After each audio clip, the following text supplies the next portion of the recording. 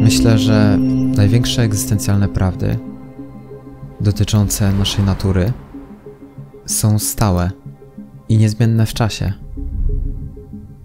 To poczucie, że jesteś, żyjesz, dokądś zmierzasz. Musisz wstawać każdego dnia i akceptować rzeczywistość, jaką jest.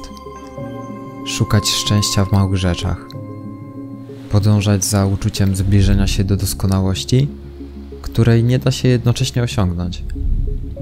Zaakceptować śmiertelność ciała i nieprzewidywalne konsekwencje niektórych wydarzeń. Pogodzić się z nieudolnością natury ludzkiej i niedoskonałością moralności.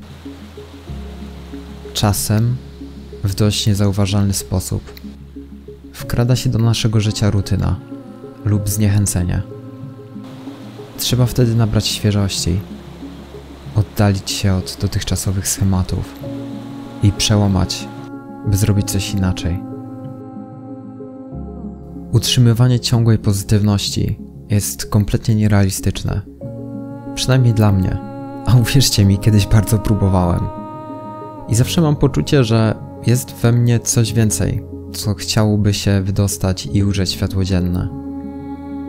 Bycie twórcą to nieustanne wystawianie siebie na konflikt między wewnętrznymi tendencjami kierującymi ku kreatywnemu spełnieniu, a zewnętrznymi uwarunkowaniami, które kształtują nasze kulturowe tendencje.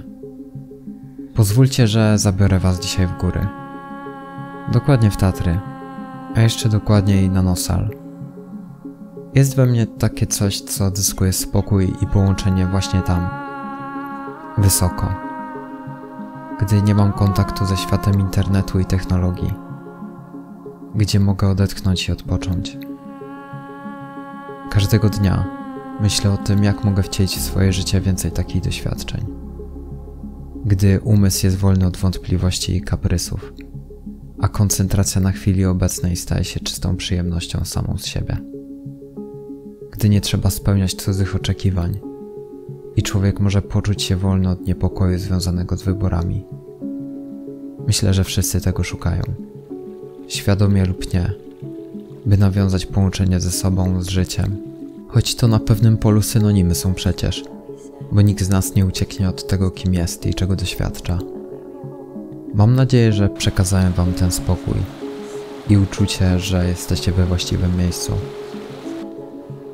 Chciałem zaprosić wszystkich chętnych na najnowszy warsztat Satori, który wydarzy się już niebawem.